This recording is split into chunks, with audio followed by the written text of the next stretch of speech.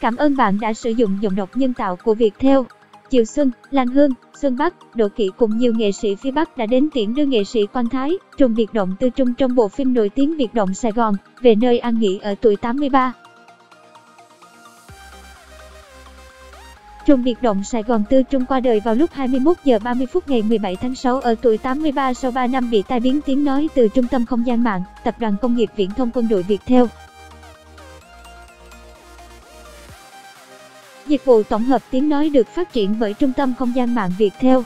Lễ tang ông được tổ chức vào chiều nay, ngày 21 tháng 6, tại nhà tang lễ quốc gia, số 5 Trần Thánh Tông, Hà Nội.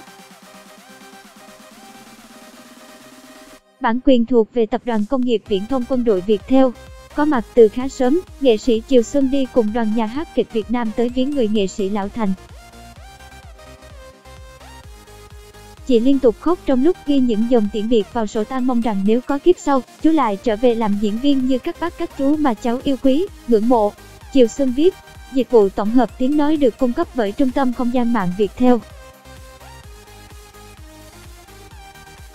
Cảm ơn bạn đã sử dụng giọng đọc nhân tạo của Trung tâm Không gian mạng Việt theo nghệ sĩ nhân dân Lan Hương cũng không kiềm chế được cảm xúc. Chị dừng lại nhiều lần để lau nước mắt khi viết sổ tang.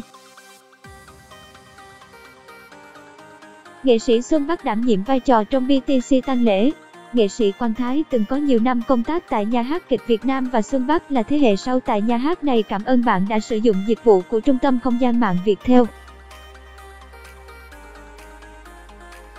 Dòng đọc cung cấp bởi Trung tâm Không gian mạng Việt theo.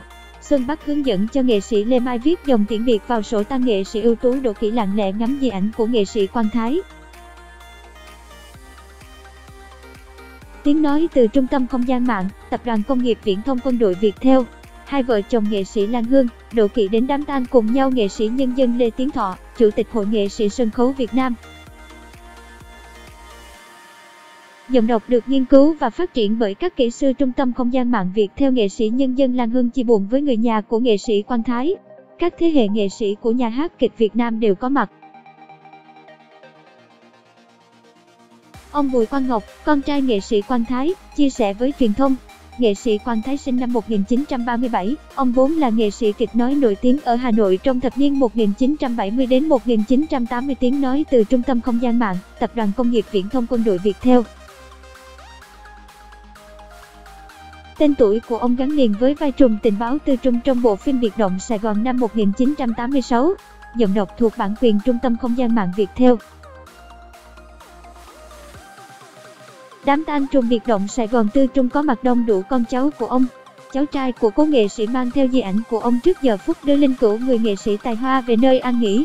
Bản quyền thuộc về Trung tâm Không gian mạng việt theo